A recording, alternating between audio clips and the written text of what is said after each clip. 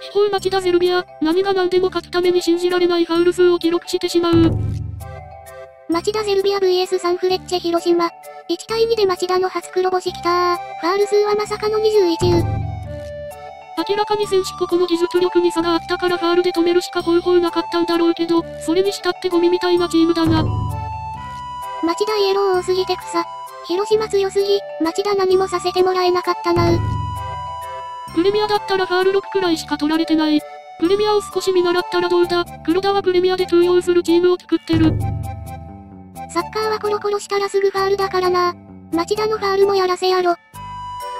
黒田監督は自分が指揮してるのがプレミアじゃなくて G リーグのチームだということもわからないおバカさんなのか？今日の試合は、町田の化けの皮が剥がれたのを見たようだったわう。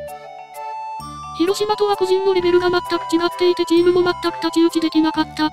苦し紛れにプレーが荒くなっていっていたように感じた。こういうサッカーするチームが出てくるとリーグのレベル上がるから大歓迎だけどな。ちなみに今日の試合でファール、警告数がリーグトップになりましたご